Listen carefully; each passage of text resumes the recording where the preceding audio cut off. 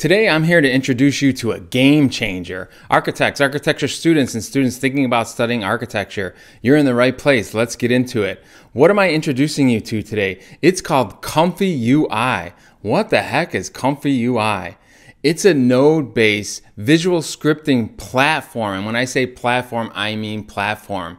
Comfy UI is going to have the biggest impact on architecture and design since parametric modeling and Grasshopper. We all know that Grasshopper changed the way buildings look and it's responsible for the emergence of the parametric style. Yes, it is an architectural style that emerged from software, from what I'm calling workflow. Comfy UI is all about workflows. What can you do on this platform? Well, did I mention it's free and open source? So all other disciplines are pouring things into Comfy UI.